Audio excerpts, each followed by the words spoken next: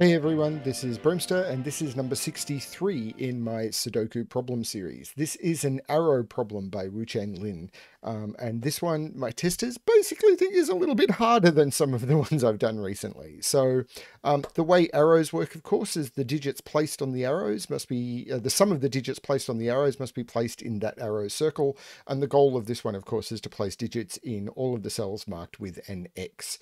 Um, there's a link to this problem below where you can give this one a shot for yourself. I'm going to wait for a few seconds and then I'm going to be back to try and explain how this one works. Okay, so it's been a couple of days since I looked at this one. I probably should have given it a run. So, of course, the trick on this one is to look at box five because these are all the cells that we need to fill.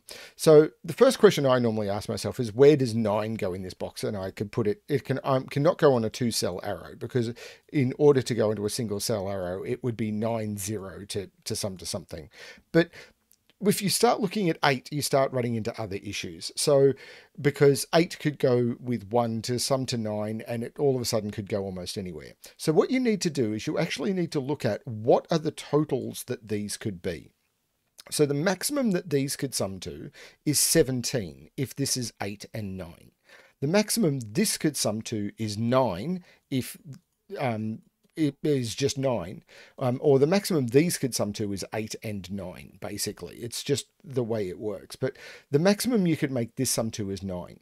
And if you make this sum to nine and these eight and nine, what do you end up with? Well, if this was 17 and this was 9, you would end up with uh, 17 plus 9 is 26. And if you add 2 to that, you get 28. And these are the maximums that you can do.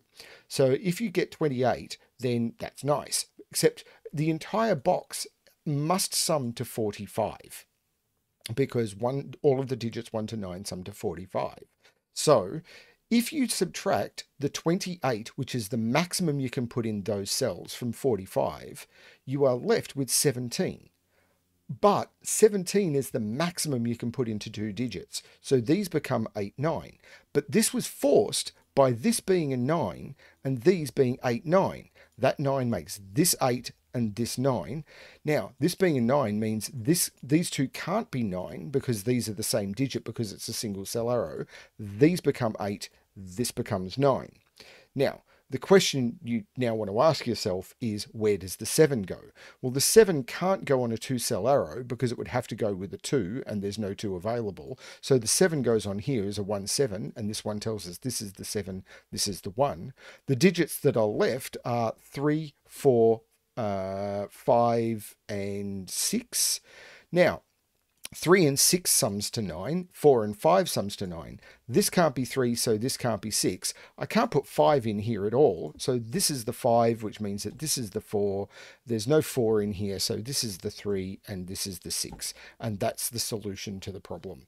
This is the way that I've worked through this one. Um, I could not find another path. I wasn't given a specific solution path, but this is the only way I could find to solve this. Um, yeah, I kind of like this one. It uses the the the math of the the box um, in quite an interesting way. Thank you everyone for watching. I hope you're enjoying the series, and as always, good luck with your solving.